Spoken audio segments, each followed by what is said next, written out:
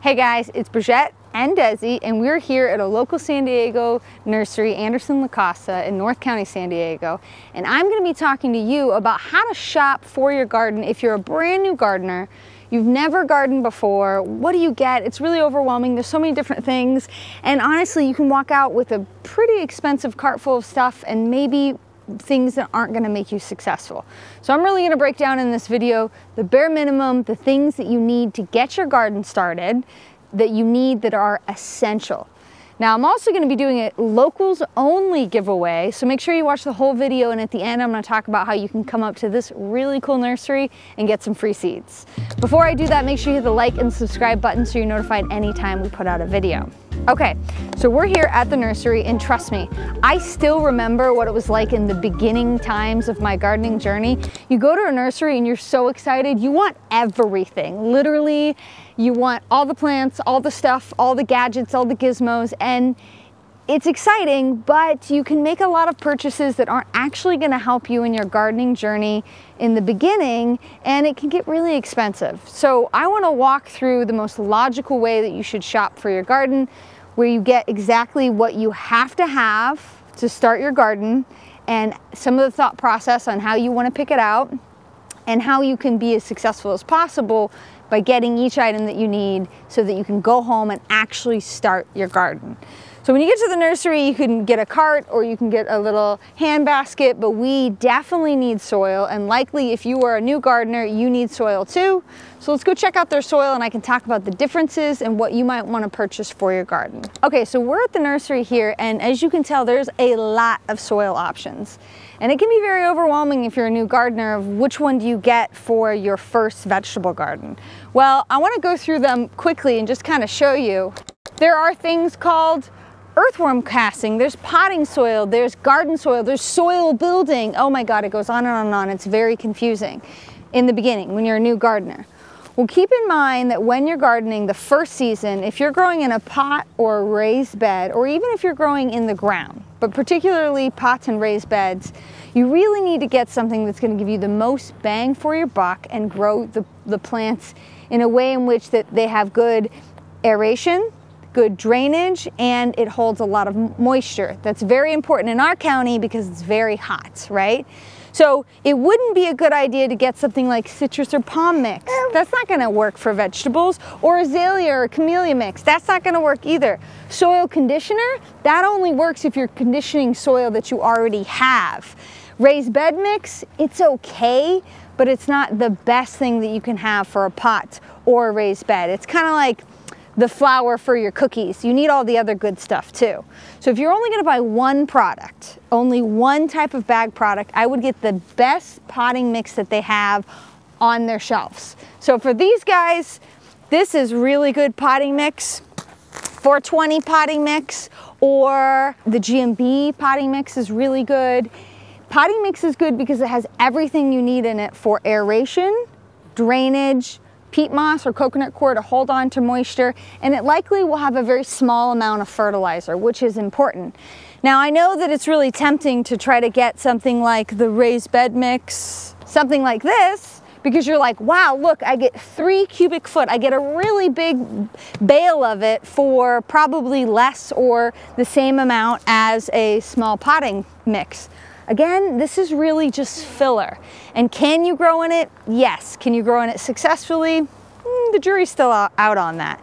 So buy the best potting mix that you can, and then if you can afford additives like compost, worm castings, or other things, that's a great additive to make the potting mix even better and to grow happier, healthier plants. Okay, so we're walking to our number two thing that you need to get in the garden, and we're going through all of this really fun stuff. Newsflash, I know it's hard, but if you're gardening on a budget, you don't need any of this yet. Start with the basics and then build from there. Such a good boy. You're such a good boy. Okay, so number one thing that I talked about is soil. You have to have something to plant your plants in. Soil is the most important. If you've got a limited budget, really make sure you put some money aside for soil. Number two, you need something to plant, right? That's the whole reason we're gardening. So either seeds, which are the most economical, but you gotta learn how to start them. We have tons of videos on how to do that. or starts. If you're a new gardener, you're likely gonna shop for starts. And so you would come to the start section of your nursery and pick out whatever plants that you want to grow in your garden and remember to make sure that you get what's in season. That's really important. So we have a whole video that you gotta check out that tells you exactly how to pick out your starts for your garden so that you can get the happiest and healthiest plants. Okay, so when you're shopping for your garden, for those of you who are advanced enough to start your own seeds, which hopefully with my help, I can get you there, you want to go to the seed section in your nursery and pick out your seeds that you're going to grow, but keep in mind that you don't want to go too crazy, especially if you're planting on a budget. We actually have a whole video where I explain how to pick out your seeds when you're a new gardener, so make sure you check that out. We'll put a link in the description of this video so that you can watch that and make sure that you don't go too crazy. I know it's really easy to do that. And also, we're going to be giving away some seed packs to locals only. So this is only if you're in San Diego County and you can swing by Anderson La Costa's nursery to pick up the seeds because you got to come here to actually get them. And then you can take time and walk around this gorgeous nursery and check out why we love this spot. So to win your fall seeds from Anderson Lacosta, make sure you subscribe to the channel, comment on this video, and make sure that you're subscribed to our newsletter because that's how we announce the one lucky winner that we pick out so you can come by and get your seeds for this fall's planting season. So I picked out these varieties because they're some of my favorites. Lacinato kale, you're gonna plant it now for cool season. Bibb butternut bibb butternut.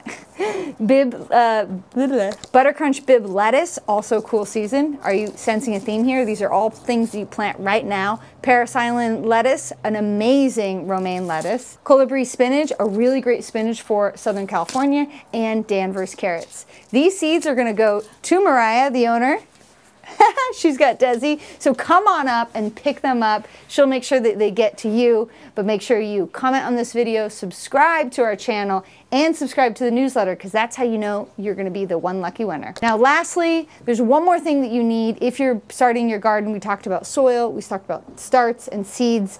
Now you have to be able to feed your plants, so let's go check out their fertilizers. Hey guys, it's not raining or no one's peeing outside. It's actually a fountain, I promise. But we are here in the little fertilizer house that's at Anderson La Costa's nursery, looking at their fertilizers and talking about what fertilizer you need to choose for your garden if you're gardening first time and on a budget. So I included fertilizer in this video because it's so important that you feed your plants. And oftentimes when you're a new gardener and you're buying bagged garden soil or potting mix, there's a little bit of food, but not a lot to grow big, robust, beautiful plants. So you come into the fertilizer section and you get totally overwhelmed and you see things like worm castings and um, just and, and citrus and avocado food and palm food and it's really overwhelming. What are you going to use for your vegetable garden? Well, the most important thing is to get something that has very even numbers. And what do I mean by that? I mean the numbers on the front, which is the nitrogen, potassium, and phosphorus. You really want these numbers to be pretty close within one pretty close within each other, meaning you don't really want something that's like a 21 0. That's because you want even amounts of nitrogen, potassium, and phosphorus when you're first starting your garden. So if you've watched some of our other videos and you're a total nerd like my videographer Jeff, he's gonna tell you that in general, the second number needs to be about double the first number. Now that gets really confusing and this video is for new beginning gardeners. Again, what I like to tell people is look for even numbers, meaning that it can be 555, 666, 222, or 463 nice low numbers, so under eight and across the board relatively even with each other is going to give you a good mix. The other thing you could do is just read the package because this, like tomato, vegetable, and herb, fertilizer has been formulated specifically for tomato, vegetable, herb. A little pro tip I can give you too is if you have fertilizer on hand, like let's say you've got some leftover citrus and fruit tree fertilizer you can absolutely use this in the vegetable garden. That is a-okay. It's just formulated more for fruit trees. But if you turn it around and you look on the back and you read the in instructions, a lot of times you'll find that it's very similar instructions to your tomato, vegetable, and herb. What it is, is it's got nitrogen, potassium, and phosphorus, which is gonna help the plant grow. And so if it's If it is a nice even number and nothing too crazy high that would burn your plants, you can use it in your vegetable garden and it's gonna help your plants grow bigger, healthier, and happier. Now, what you wouldn't wanna reuse that could be potentially damaging to your garden is anything that is for high acidity plants. So azalea, camellia, rhododendron, blueberry mix, a lot of those are meant for making the soil more acidic. Things for like hydrangeas, those are going to actually change the chemistry of the soil specifically for them, and it's not for vegetables. But again, citrus and fruit is fine, vegetable and herb, all purpose is fine. Use what you can afford that first season and keep in mind that you have to continue to stock the pantry, as I like to call it, of the soil in your garden each year. So you're not gonna fertilize just once, you're gonna fertilize every season. We've got tons of videos and information on that but it is an essential part of your first shopping trip to the nursery. You wanna make sure you get soil, your, your seeds or your starts, and then you wanna make sure you get something to feed those babies so that they can grow big and happy. Okay, so let's say you've gone and you've bought all those things and you still have money left in your budget to shop for your first garden.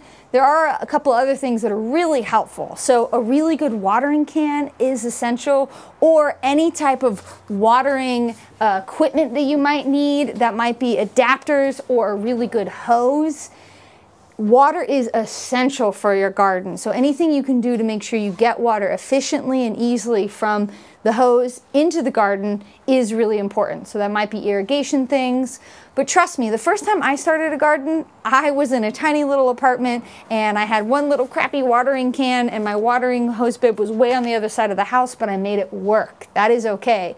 As you go through your gardening journey, you'll find out things that make your garden more efficient and more pleasurable and make your plants grow healthier and happier, and irrigation is a really important part of that. Again, as always, we have tons of videos on irrigation, how to set it up, what type of irrigation to get. Make sure you check out our channel and subscribe to our channel so that we can help you be the best gardener yet.